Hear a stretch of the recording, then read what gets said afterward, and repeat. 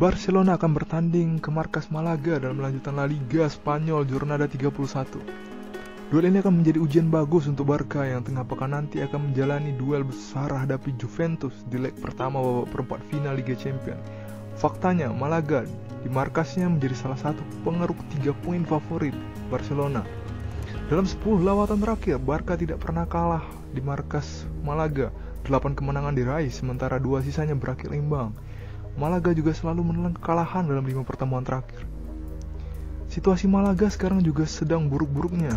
Tim asuhan Mikhail ini hanya sanggup mengoleksi 4 poin dari 5 jornada terakhir.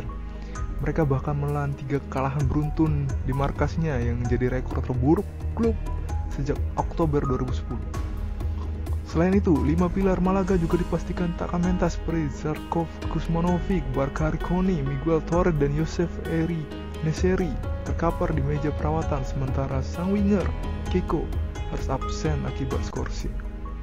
Walau begitu, bukan berarti pelatih Barcelona, Luis Enrique, lantas meremehkan bentrok hadapi Malaga. Ia menyebut Malaga sebagai lawan yang selalu mampu menyulitkan timnya. Menghadapi Malaga, mereka adalah lawan yang selalu berhasil membuat kami kesulitan. Jadi mari kita lihat, karena kami masih ingin bertarung memperebutkan gelar juara La Liga, ujar Enrique. Alih-alih formasi baru 3-4-3, Enrique diyakini akan menurunkan skema lawasnya dalam 4-3-3. Pemasangan Jordi Alba sebagai back sayap akan dioptimalkan menyusul protes baru-baru ini.